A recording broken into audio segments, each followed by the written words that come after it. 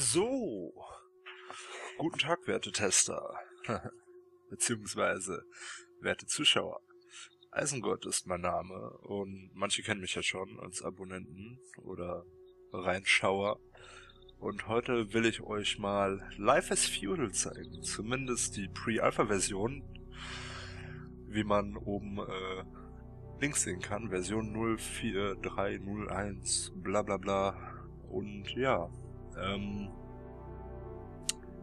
ich möchte euch dieses Spiel zeigen, weil ich denke, es hat sehr viel Potenzial. Es ist ein Sandbox-MMO im mittelalterlichen äh, Zeitfenster angesiedelt und ähm, ja, die Karte ist sehr, sehr groß. Ähm, wie groß weiß ich jetzt allerdings gar nicht. Moment, ich schaue da mal eben schnell auf der Minimap. Das hier ist zum Beispiel der nördliche Teil. Und ja, es geht noch sehr viel weiter runter. hier überall noch. Und wir haben uns, uns hier gerade an diesem schönen See gemütlich gemacht. Wie gesagt, Grafik ist noch nicht so ganz das Gelbe vom Ei, aber es ist ja eine Pre-Alpha, von daher alles zu verkraften. Ähm, ja, ich weiß nicht, ob mein Mauscursor momentan integriert ist, weil ich in so einer Overlay-Version hier gerade anhabe, wo ich Sachen draggen kann. Ähm, aber wir haben hier zum Beispiel unten verschiedene Skills. Waffe ziehen, Waffe wegstecken, geschulterte Waffe ziehen und so weiter und so fort. Ähm, Flucht ergeben und sich nach Hause zurückbeten, was in diesem Fall die einzige Stadt auf der Karte ist, und zwar hier die ähm, NPC-Stadt auf dem Anfangsserver, wo man sich einloggt, Server 25. Es gibt hier mehrere Server. Ich werde auch mal einen äh, Link unter die ähm, unter das Video setzen, wo ihr euch einen Trailer angucken könnt zu dem Spiel, weil ich will jetzt nicht so die Grundsachen zu dem Spiel erklären, sondern eher, was man von dem Spiel momentan erwarten kann, wie die Game-Mechaniken so sind, also etwas halt. Ähm, ja, also wie gesagt, es gibt verschiedene Server, ich glaube bis zu 46 Stück. Alle sind 3x3 Kilometer lang. Ähm, ja. Und es geht hier praktisch darum, dass man seinen Charakter frei entfalten kann. Wie man bei den Skills hier sieht. Es gibt verschiedene Skilltrees, die man alle bis 100 leveln kann. Jedoch ist bis 90 wahrscheinlicher, denn wenn man es bis 100 leveln will, braucht man so äh, ein Jahr oder halt eben auf jeden Fall viele Monate im Real Life, bis man das äh, auf 100 gelevelt hat. Und da erhöht das eigentlich immer nur so ganz kleine Dinge, wie zum Beispiel Slightly Increased Prospecting Range, dass du halt über ein bisschen mehr Radius auch ähm, Ärzte entdecken kannst. Also etwas. Also es ist äh, so eine Sache, weil man hat zwar die Prestige, dass man es auf 100 hat. Ich glaube, es gibt später dann auch, ähm, wenn das mal implementiert ist, sowas wie äh, spezielle Titel wie Meister der Zunft, äh, Prospecting oder äh, Meister der Minen, irgend sowas halt. Dass du halt so, so einen Ehrentitel hast, wow, du hast kein Leben, du hast einen Skill auf 100 hochgebracht, sowas in der Art. Ähm, ja, genau, dann gibt's ja auch Chip, Moment, wo haben wir's? Zum Beispiel so Sachen wie heilen. Äh, hier, das ist der Skill hier, dafür musst du aber erst so Nature's Lore, also so äh, Kräuter finden, äh, Pflanzenfasern finden, die findet man dann zum Beispiel. So sehen die hier aus, die Pflanzenfasern. Hier haben wir ein Placeholder-Icon für eine Falle. Lehm, Äpfel, Kekse, äh, Felle, Rinde, ein Messer, ein primitives. Ich habe hier noch eine primitive Sichel, so eine gammelige Kutte. Mein Charakter sieht halt auch dementsprechend aus momentan noch. Eine primitive Schaufel, die eigentlich mehr aussieht wie eine Keule. Oh, nee, halt, na, was tust du? Wahrscheinlich... Er hat sie einfach nochmal drüber angelegt, okay. Ähm, ja, genau, hier unten neben unserer Stamina Bar in grün sehen wir, wenn ich renne, geht die runter. Hier, so, jetzt geht's runter.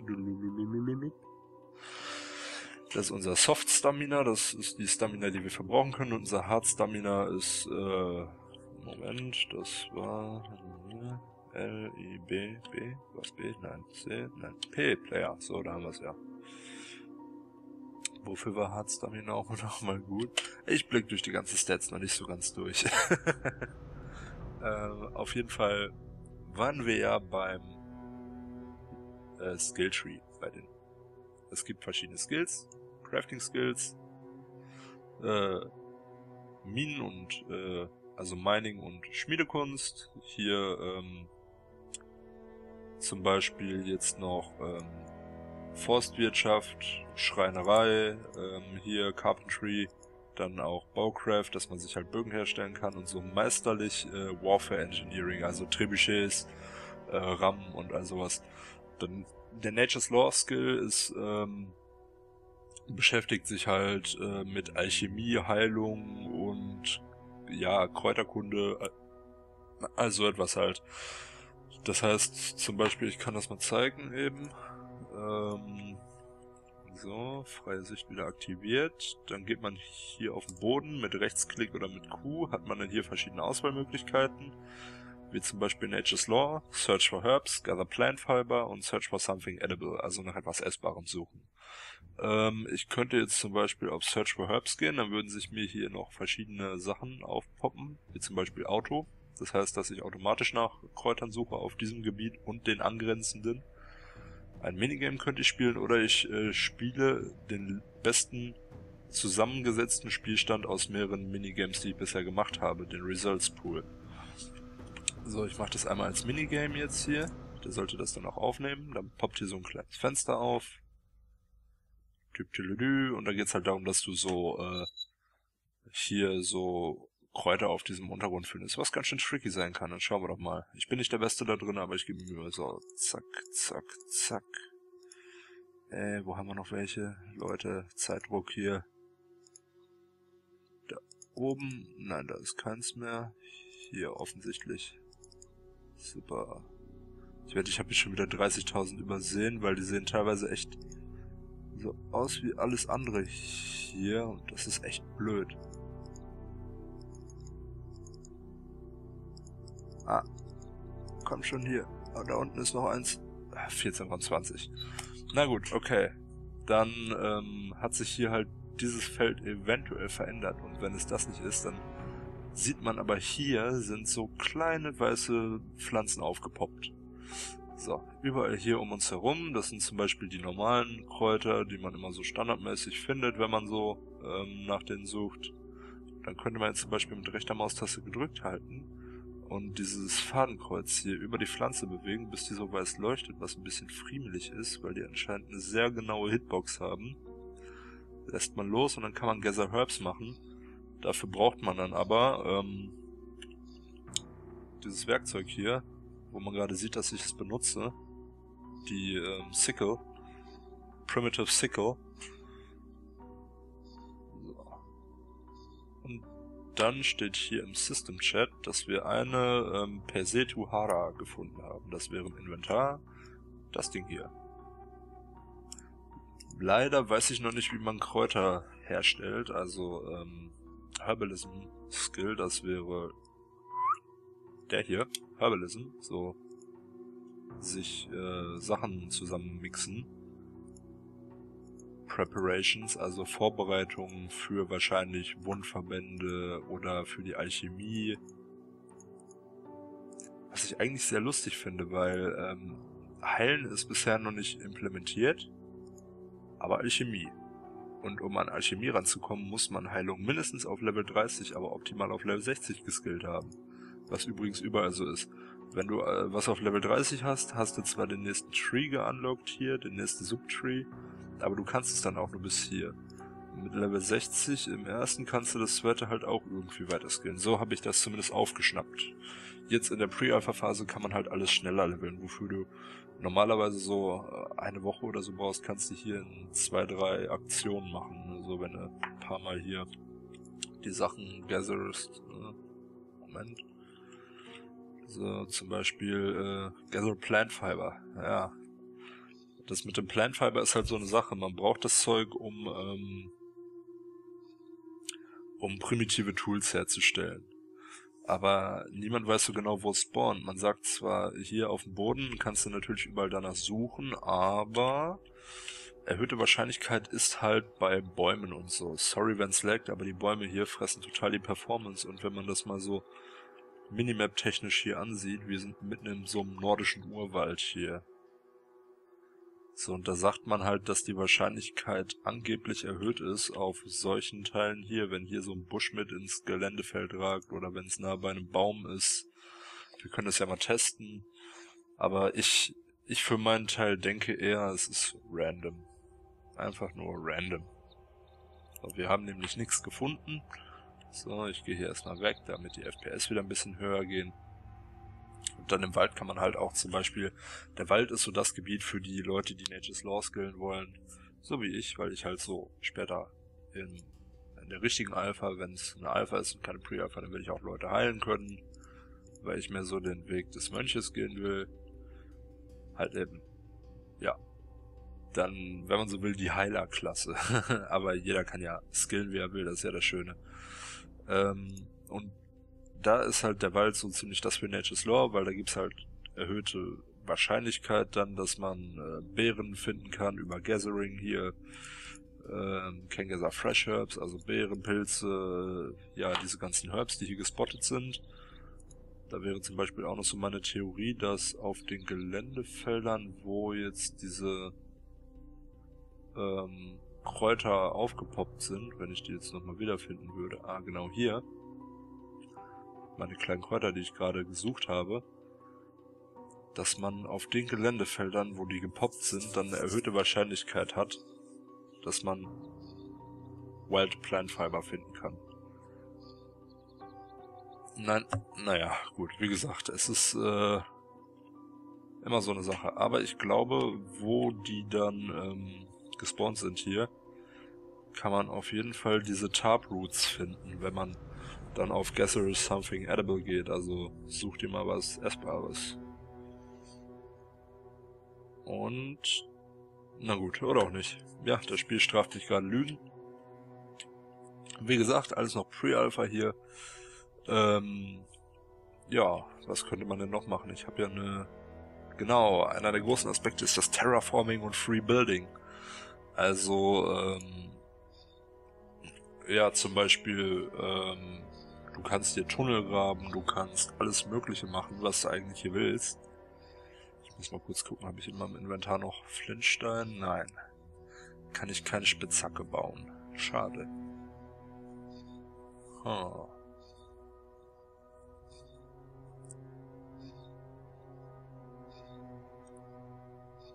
Ja, was machen wir denn dann mal? Ähm... Spitzhacke ist halt nötig, um Tunnel zu graben, weil jetzt könnte ich mit dieser primitiven Schaufel, könnte ich erstmal nur hier Terraforming, Lower Ground Level machen. Mit meiner primitiven Holzkeule.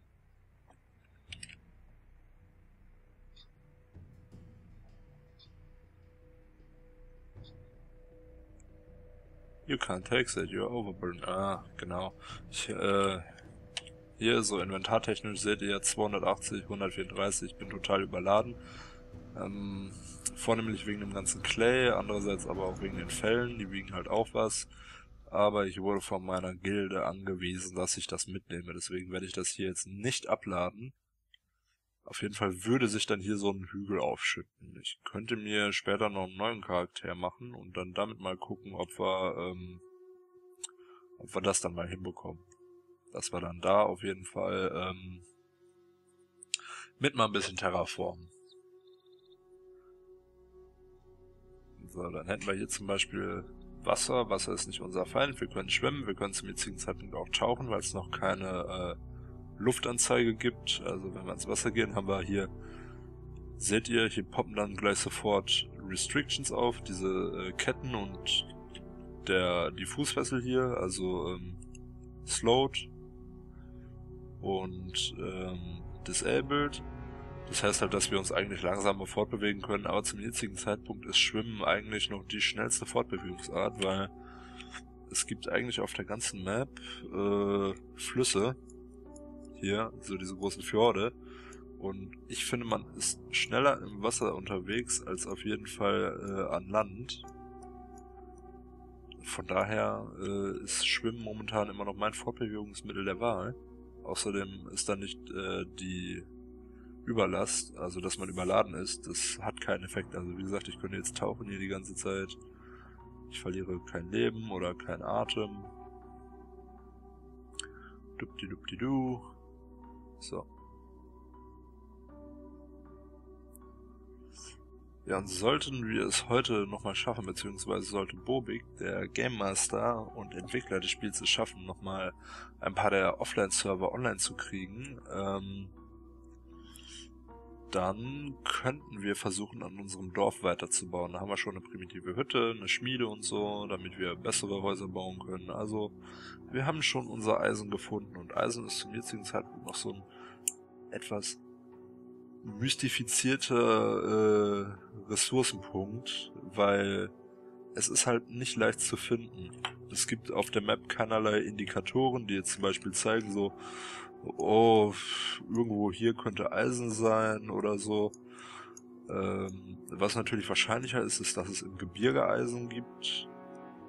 Oder ja, hier am Vulkan so äh, Eisen vorkommen.